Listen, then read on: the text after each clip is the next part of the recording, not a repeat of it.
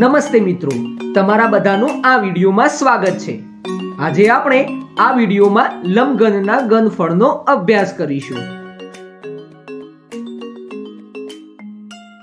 Thomas જો મારી મમ્મીએ લાડુ બનાવવાનો વ્યવસાય શરૂ કર્યો છે તેમને એક મોટો ઓર્ડર મળ્યો છે અને હું તેમની મદદ કરી રહ્યો છું. અરે વાહ માનસ!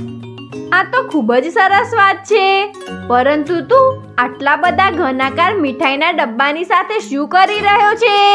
મમ્મીને આ 20 ઘનાકાર ડબ્બાને એક મોટા લંબઘન ડબ્બામાં ભરીને વિદેશ મોકલવાના છે.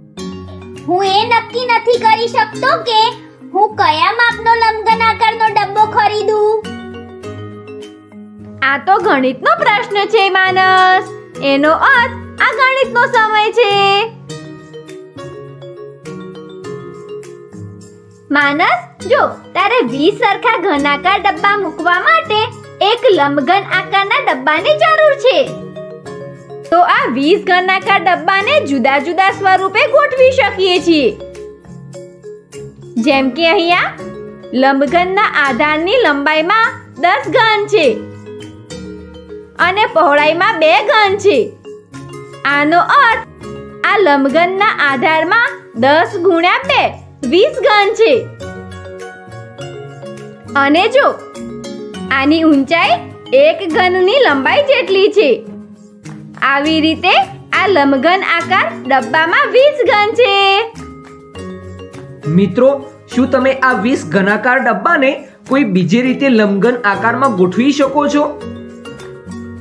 તમે ઈચ્છો તો વિડીયોને રોકીને આનો જવાબ શોધી શકો છો. જો થોમસ, તું આ 20 સરખા ગણાકાર ડબ્બાને આ રીતે પણ લંગન ડબ્બામાં ગોઠવી શકે છે. મેં અહીંયા આ લંગન આકારના ડબ્બાના માપ પણ લખી દીધા છે.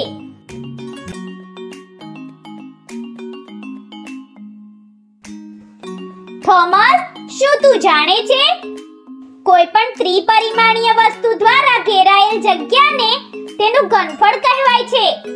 એટલા માટે તારા મોટા લંબઘન ડબ્બાનું ઘનફળ 20 ઘન એકમ બરાબર છે. અરે વાહ! જો આપણે ધ્યાનથી જોઈએ તો મેળવીશું કે દરેક લંબઘન ડબ્બાનું ઘનફળ તેની લંબાઈ, પહોળાઈ અને ઊંચાઈના ગુણાકારના જવાબ બરાબર છે.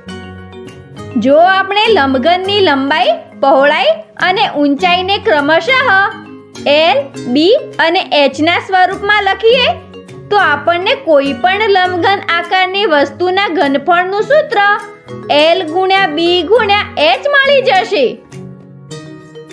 એકદમ સાચું, થોમસ.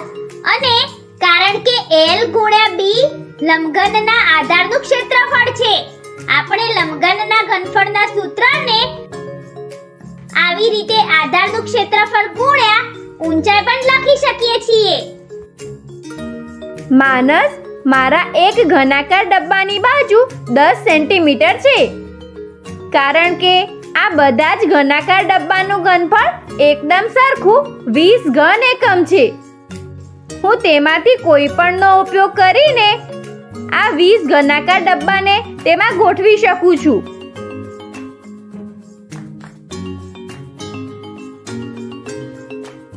જો હું આ પાંચ ઘન લંબાઈ, બે ઘન પહોળાઈ અને બે ઘન ઊંચાઈવાળા ડબ્બાનો ઉપયોગ કરું, તો મને એ ડબ્બાની બાજુઓ શોધવા માટે ફક્ત ઘનની જગ્યાએ એ ઘનાકાર ડબ્બાની લંબાઈને લખવી પડશે.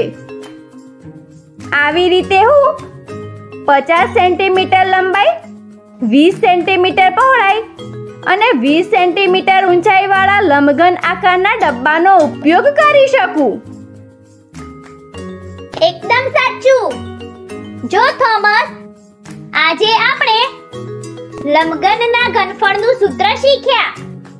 ચાલો હું આને ઝડપથી ગણિતની સૂત્રની ચોપડીમાં લખી લઉં.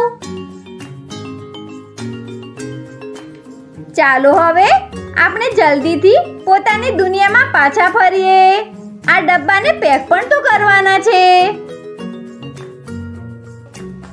થોમસ અને માનસે મળીને બધા જ ડબ્બાને એ મોટા લમઘન ડબ્બામાં પેક કરી દીધા.